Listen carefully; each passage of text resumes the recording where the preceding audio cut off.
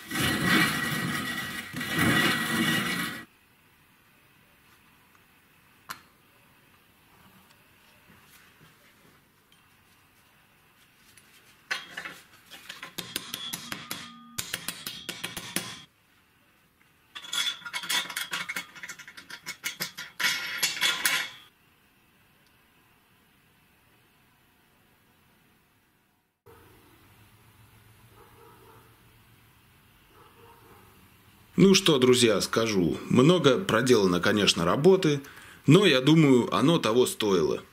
Вещь получилась довольно-таки качественная, в плане люфтов, зазоров, и, надеюсь, функциональность тоже не подведет. Механизм подвижной каретки на подшипниках позволяет регулировать все возможные зазоры и люфты со всех четырех сторон, что полностью исключает какое-либо нежелательное уклонение от требуемых 90 градусов положения сверла. И сейчас мы произведем первый запуск и первое отверстие на нашем самодельном станочище. Сразу извиняюсь за свои не очень острые сверла. Надеюсь, когда-нибудь я научусь их все-таки точить.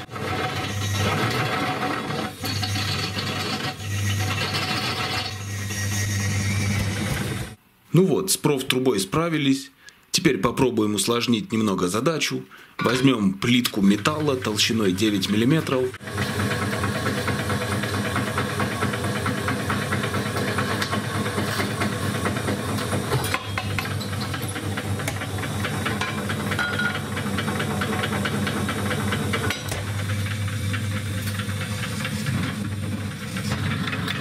а также увеличим диаметр сверла.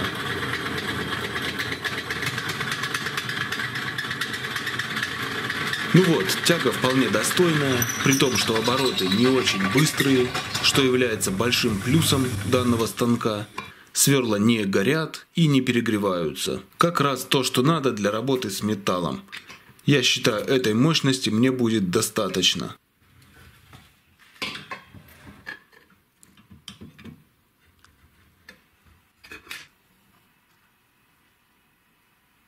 Ну что ж, друзья, если вам понравилась данная идея, ставьте, конечно же, лайки. Также буду ждать ваших отзывов и ваших мнений по этой самоделке. Пишите в комментариях, что бы вы доработали или как улучшили данную конструкцию. Буду рад выслушать ваше мнение. На этом буду заканчивать. Всем удачи, пока!